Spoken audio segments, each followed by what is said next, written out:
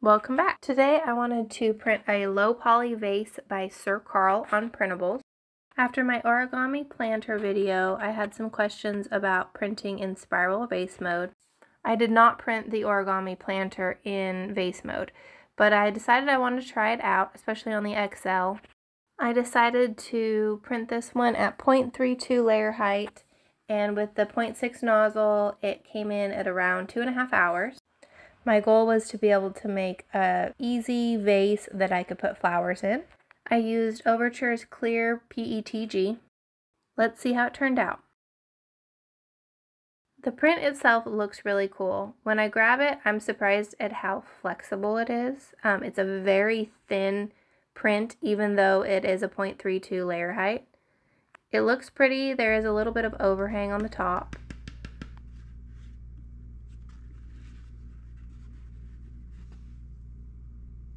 Printing in the spiral vase mode, there is no seam, which is very pretty, especially on this low poly vase. But as soon as I put water in it, it was just pouring directly out again. So I decided that I would change the layer height. I knocked it down to 0.2, and this ended up being a 3 hour and 34 minute print. This one again looks really pretty. It does seem like it's a little bit less clear in color than the higher layer height one. Um, but overall, I mean, it, it printed really well. This one ends up leaking a little bit less, but it's still not going to work. So I pulled it into Tinkercad and messed around with it a little bit so that it would be a little thicker. It's not going to be printed in spiral vase mode. It would be closer to the origami planter where it's going to be a little bit thicker. Um, and I did set the seam as aligned. I was hoping that that would still look really nice with this design. I printed this at 0.2 layer height and it took about six hours. And keep in mind too, this is not a very large vase. It's about five and a half inches wide and about seven inches tall. So it's not something that the XL, eh, that I have to print on the XL. I just really wanted to see how the XL would do with the spiral vase mode. And I also wanted to try out the clear PETG. I wanted to see how clear it would be and I wanted to see if the print would work. This print turned out okay. Um, you can see along the bottom that it's not super clear. It's just the way that the print turned out. And there's some really kind of ugly seams.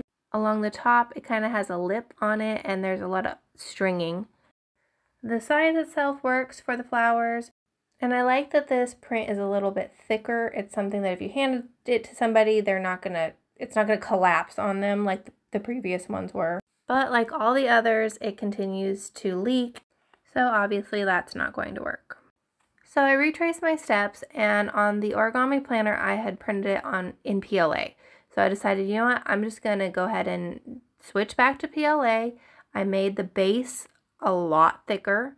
It's about half an inch on the bottom so that surely there's no way that it can leak on the bottom but I was also getting impatient, so I switched back to 0.4 layer height. And with that thick base on the bottom, this print took about four hours.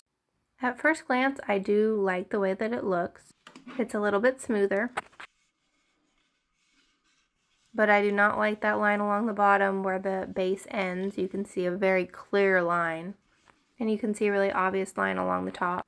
There are still some not very pretty seams in more than one spot, and then the top has a lot of stringing.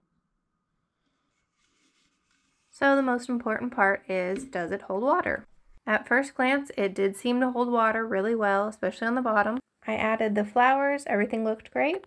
And then the next day, I noticed it leaking along the seam, and there actually was a little bit of water below the vase when I picked it up.